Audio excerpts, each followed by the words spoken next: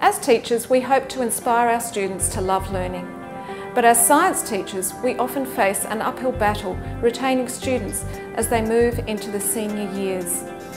Over the last few decades, the number of students studying sciences has decreased, but at Santa Maria College in Northcote, Victoria, we founded the Growing Tall Poppies program to buck this trend.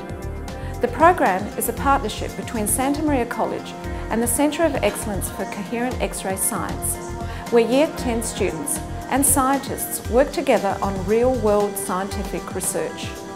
The goal of this project is to increase the number of students engaged in the sciences and especially the number of girls studying physics to Year 12.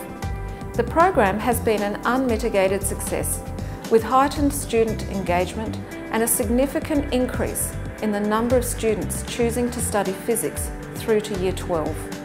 After seeing the positive outcomes of this partnership and receiving inquiries from other schools, I'm putting together a professional development package to help schools across the country to establish similar partnerships.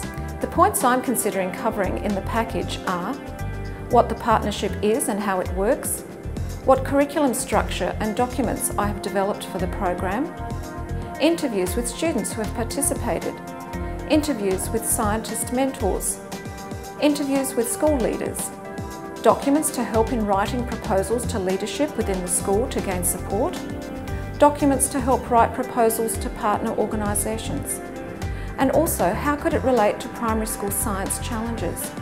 You can help make the package more relevant to you by logging on to the Growing Tall Poppies website or Facebook page and letting us know what challenges you face and what information you need to get started.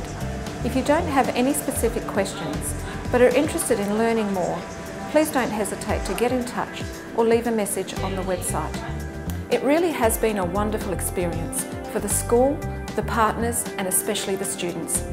This kind of program really can make a difference and it's not that difficult to set up. So stay tuned, log into our website or our Facebook page and get involved.